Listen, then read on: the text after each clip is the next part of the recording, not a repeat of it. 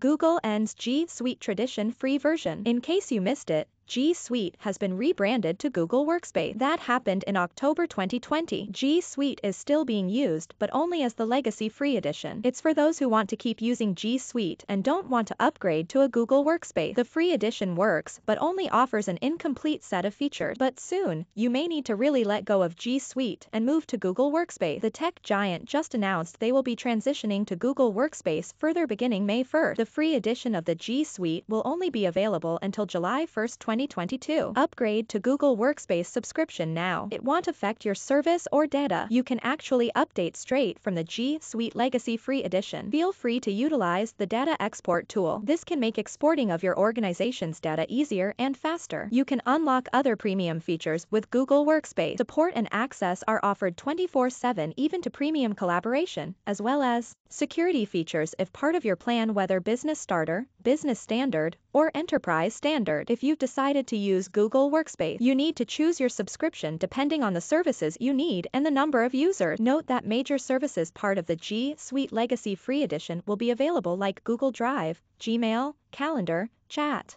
and Meet. To choose the type of plan, you need consider many things like the features you currently use, the number of users, features you want to use in the future, and billing. Google Workspace Business Edition can accommodate up to 300 users. For over 300, you may need to avail of the Enterprise Edition. Non-profit organizations and schools can available of a discount. Just update the plan to Education or Non-Profits Edition to enjoy the benefit.